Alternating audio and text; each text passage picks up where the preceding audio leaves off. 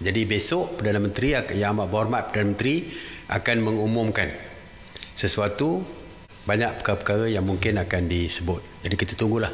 Perdana Menteri Tan Sri Muhyiddin Yassin dijangka akan membuat beberapa pengumuman penting pada esok hari iaitu pada 7 hari bulan 6 2020.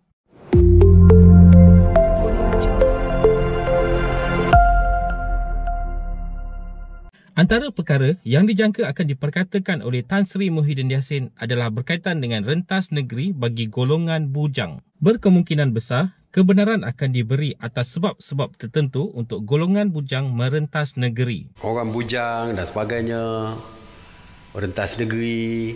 Saya difahamkan besok Yang Amat Berhormat Perdana Menteri akan mengumumkan sesuatu. Jadi kita tunggulah. Saya takut nanti saya umum berbeza pula dengan Yang Berhormat Perdana Menteri.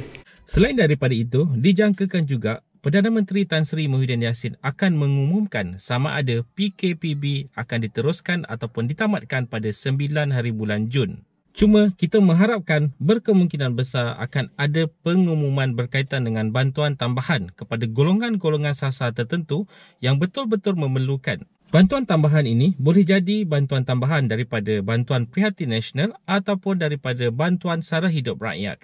Apa-apa pun kita nantikan dan tunggukan pengumuman penting daripada Tan Sri Muhyiddin Yassin pada esok hari. Okay guys, itu saja perkongsian daripada aku dalam video pada kali ini. InsyaAllah kita jumpa lagi di video yang akan datang. Stay safe, stay healthy, stay home. Assalamualaikum.